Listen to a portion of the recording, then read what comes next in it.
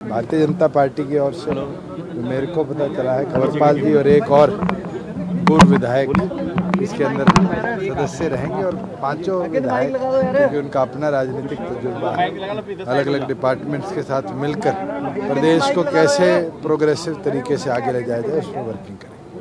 तो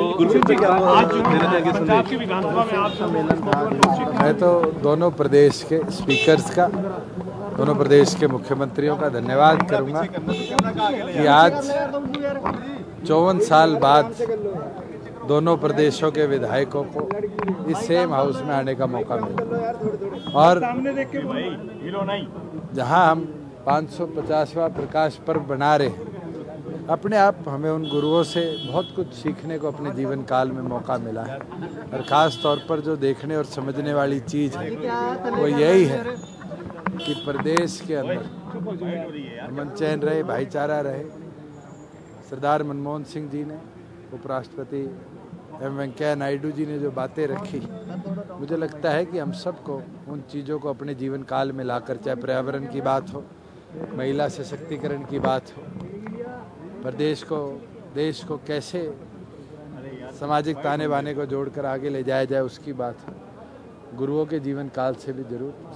हमें इस चीज़ के बारे में सीख कर आगे बढ़ना। सर हरियाणा और पंजाब में पानियों का मसला आज तक चलता रहा है लेकिन आज जैसे दोनों जो सदन इकट्ठे लगे हैं एक, तो इससे लग रहा है कि प्यार बढ़ेगा हिमाचल तो ये मानता हूँ पानी अपनी जगह है मगर सबसे पहले हमें मिलकर 550वें पर्व की जो आज जॉइंट बैठक थी उसके बारे में विचार करना था। पानी की लड़ाई तो सब जुडियस है। पहला पहला सेशन था इस पहले सेशन में। विपक्ष ये कह रहा है कि आरक्षण आंदोलन मामले में जब विपक्ष ने मुद्दा उठाया। विपक्ष के पास कोई विषय है?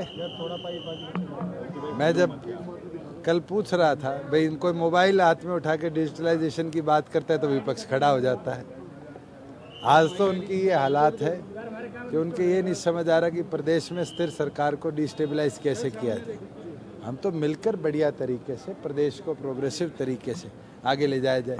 कोई विपक्ष का एक साथी खड़ा होकर कहा कि 50 किलोमीटर वाली योजना लागू करने के लिए आपका धन्यवाद। उनका काम है विरोधाभास करना और जो विषय आज उठाया गया है बिल्कुल उसके ऊपर सरकार जल्द से जल्द निर्णय करेगी क्योंकि सबजुडियस मैटर है। इसमें लीगल ओपिनियन लेना भी बहुत ज़रूरी है। हर तरह की वर्किंग के बाद ही इसके ऊपर कोई टिप्पणी करो वो बेटर है ये पढ़ाई की समस्या बड़ी समस्या बनी है? अभी भी आप आप हरियाणा को बड़े अच्छी तरीके से कवर करते हैं। डाटा मैं नहीं प्रोवाइड करता हर्षक और नासा प्रोवाइड करता है। हरियाणा पराली जलाने वाले प्रदेशों में नहीं। पंजाब पंजाब और पाकिस्तान पंजाब में आज अधिकतम पैडी हस्की फायर है। और उसका कारण दिल्ली के ऊपर प्रदूषण नहीं है। दिल्ली की अपनी डेमोग्राफी है। मैंने स्वयं प्रधानमंत्री को आज एक पत्र लिखूँगा। उस पत्र के अंदर ये मांग करूँगा कि ये जो दिक्कत आ रही है, इसको, इससे निपटने के लिए एक ऑल्टरनेट तरीका है क्लाउड सीडिंग का, जिसके लिए आईआईटी ने अपना प्रोजेक्ट भी बना दिया है मगर क्योंकि एविएशन की टेक्निकल हेल्प केंद्र सरकार को देनी पड़ेगी। अगर केंद्र सरकार एविएशन की टेक्निकल हेल्प प्रोवाइड कर देता है तो ज़रूर हमें मिलकर क्लाउड सीडिंग के माध्यम से इस समस्या से जॉइंटली पाँचों प्रदेश को निपटना है एक कॉमन मिनिमम प्रोग्राम की बात हो रही है दुष्यंत जी। अनिल विज जी की अध्यक्षता के अंदर जो है वो कहा है कि कमेटी बनाई मैं भी बोल के हटा हूँ अनिल विज जी की अध्यक्षता में हमारी ओर से दो विधायक जिसमें अंदर एक सिटिंग एमएलए अनूप दानक जी हैं और दूसरे पूर्व विधायक राजदीप फोगाट जी इस कमेटी के सदस्य हैं।